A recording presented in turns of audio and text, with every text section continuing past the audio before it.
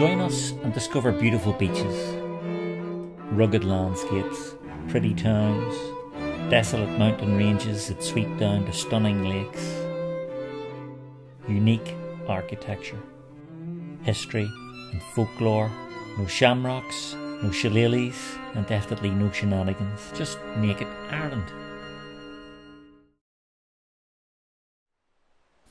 We're in County Donegal and in Donegal town, and this is Donegal Castle you see in front of you. It's situated on the River Eske, close to where it opens into Donegal Bay, and this was a stronghold for the O'Donnell clan.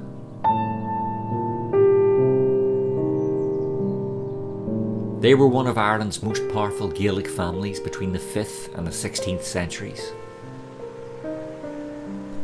The castle was built by Red Hugh O'Donnell in 1474 and it was referred to by the English in 1566 as one of the finest Gaelic castles in Ireland.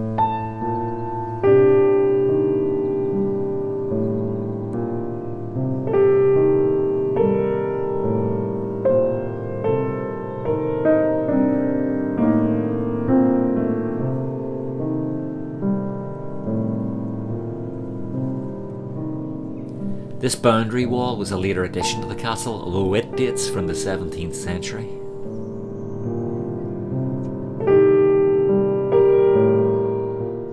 Alas, the leaders of the O'Donnell clan left Ireland in 1607 in what's known as the Flight of the Earls.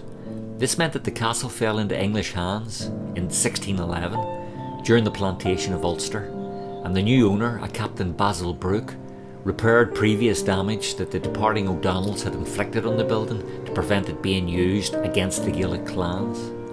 He also added the large manor house wing that we see on our right, which was built in Jacobean style. The castle was partially restored in the 1990s, although it had lay in ruins for 200 years before. So it's great that some restoration has taken place, though obviously not this bit.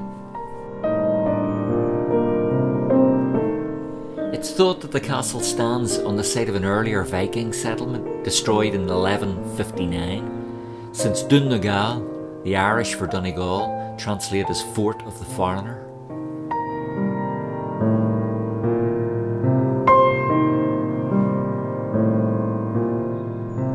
If this has been of interest, then please give it a like and don't forget to subscribe. And I'll see you in the next Naked Ireland video.